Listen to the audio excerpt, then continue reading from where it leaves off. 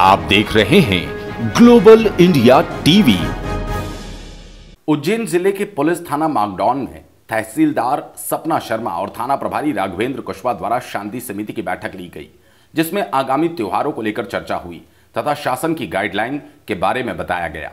तहसीलदार सपना शर्मा ने सभी सदस्यों से शासन की गाइडलाइन अनुसार त्योहार मनाने श्री कृष्ण जन्माष्टमी पर किसी भी प्रकार की शोभा यात्रा या जुलूस और मटकी फोड़ कार्यक्रम जिसमें भीड़ इकट्ठा होती हो, ऐसे कार्यक्रमों को रद्द समझा जाए, तथा मंदिरों में दर्शन और आरती के दौरान शासन के नियमानुसार ही आमजन इकट्ठा हो सकते हैं।